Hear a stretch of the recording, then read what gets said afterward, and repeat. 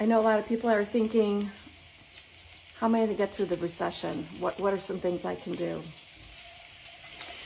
Well, here are my suggestions. Some simple ones. Start cooking your meals more at home. Make them delicious and healthy. I'm having for breakfast just a nice warmed up apple with cinnamon and some walnuts with some oatmeal. And the second thing is that I love is I always have flowers and a candle and I love these because I, I get them from Trader Joe's and they just bring me joy every day. And they're not expensive. The other thing is, you know, make sure you're working with a really good financial professional who you know, who you like, who you trust. And if you don't know where to go for one, well, Purse Strings is there for you.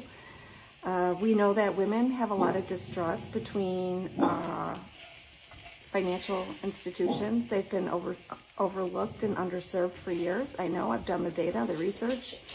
So that's why we created Purse Strings, because we want women to have a go-to resource of vetted professionals who are ready, willing, and able to help serve a female market.